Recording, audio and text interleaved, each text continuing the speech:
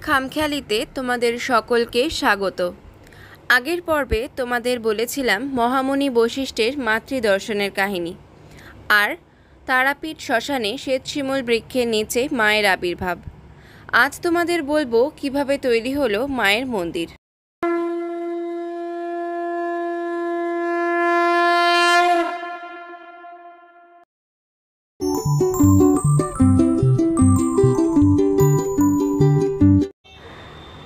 মহাশ্মশানের পাশ দিয়ে প্রবাহিত দ্বারকা নদী বৃষ্টির জলে পুষ্ট।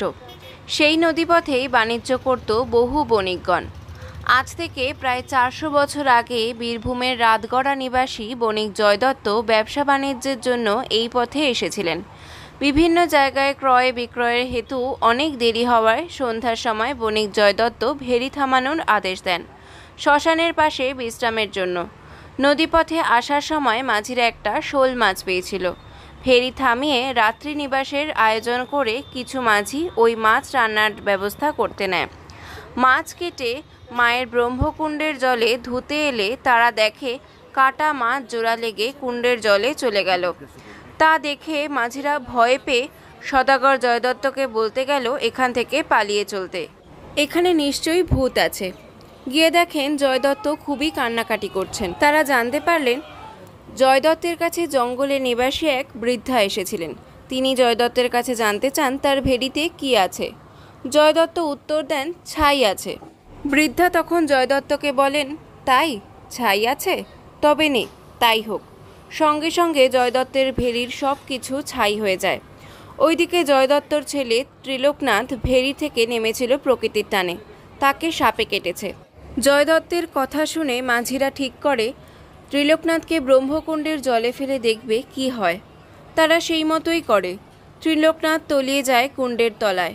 কিছুক্ষণ পর কুণ্ড থেকে ত্রিলোকনাথ তারা নাম জপ করতে করতে উঠে আসে। জয়দত্তের ছেলে প্রাণ ফিরে পেল। কিন্তু জয়দত্ত ভাবতে লাগল, কে এই তারা? মধ্যরাত্রে যখন সবাই নিদ্রাচ্ছন্ন, তখন জয়দত্তকে দেবী তারা স্বপ্নাদেশ দেন। জয়দত্ত আমি দেবী, তারিণী তারা। এই শ্মশানে আমি বহুকাল ধরে আছি। আমি তোর ছেলের প্রাণ ভিক্ষা দিয়েছি। তোর ভেরির সব কিছু আমি ছাই করেছি। আমি এই শ্মশানের শ্বেতশিমুল বৃক্ষের উত্তরে মৃত্তিকা গর্ভে আছি। তুই আমায় উদ্ধার কর। জয়দত্ত মায়ের আদেশ অনুসারে ঠিক সেই জায়গায় গিয়ে মাটি খুঁড়তে শুরু করেন। বেশ কিছুটা খোঁড়ার পর উদ্ধার হলো দেবী, তারিণী তারার শিলাময় রূপ। যে রূপ মহামণি বৈশিষ্ট্য দর্শন লাভ করেছিলেন। জয়দত্ত ভেরির সকল দ্রব্য ফিরে পেলেন। জয়দত্ত সদাকর অধুনা মহাশ্মশানের পূর্ব দিকে নিজের আখড়া করে ইট কাটিয়ে প্রথম মায়ের মন্দির নির্মাণ করেন। বর্তমানে মহাশ্মশানে যেখানে তারা মায়ের পাদপদ্ম আছে ওটিই ছিল মায়ের প্রথম মন্দির, যা তৈরি হয় হাজার এক থেকে হাজার দশ বঙ্গাব্দ নাগাদ।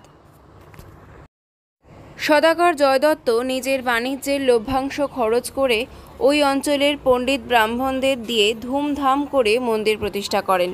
কিন্তু নিত্য পূজা ও ভোগের ব্যবস্থা কিছুই করলেন না। দেবী তারার মন্দির যে শ্মশানে আছে তা কেউ জানতেই পারল না। মায়ের পুজোর প্রচারও হলো না। মায়ের মন্দির দ্বারকার বন্যায় আবারও ডুবে যায়। এইভাবেই কেটে যায় বহু বছর। তবে কীভাবে প্রচার হলো দেবীর মহিমা? কিভাবেই বা তৈরি হলো মায়ের এই দিব্য সুন্দর মন্দির? যেখানে ভক্তের সমাগমে জয় মা তারা ধ্বনিতে ধূপ দ্বীপ ফুলের গন্ধে মন্দির প্রাঙ্গণ মুখরিত থাকে। কেই বা করল মায়ের পূজার প্রচার? তা জানতে হলে পরের পর্বটি দেখতে কিন্তু একদমই ভুলবেন না। আশা করি আমার আজকের ভিডিওটি আপনাদের সকলের ভালো লাগবে। ভালো লাগলে ভিডিওটিতে একটি লাইক, শেয়ার আর কেমন লাগল তা আমাকে কমেন্টে জানাতে কিন্তু একদমই ভুলবেন না। আর যারা আজকে আমার চ্যানেলে নতুন বা আগে আমার ভিডিও দেখেছ কিন্তু সাবস্ক্রাইব করনি চ্যানেলটা, তাদের কাছে আমার একটি অনুরোধ, প্লিজ চ্যানেলটিকে সাবস্ক্রাইব করে পাশে থাকা বেল আইকনটা প্রেস করে দিও, যাতে আমি যখনই কোনো ভিডিও আপলোড করি তোমাদের কাছে তার নোটিফিকেশান চলে যায়। আর এভাবেই একটু আমার পাশে থেকো। আর যারা পুরনো বন্ধু এতদিন ধরে আমার পাশে আছো, তাদেরকে আমার পাশে থাকার জন্য অনেক অনেক ধন্যবাদ। ভিডিওটিকে সম্পূর্ণ দেখার জন্য সকলকে অনেক অনেক ধন্যবাদ।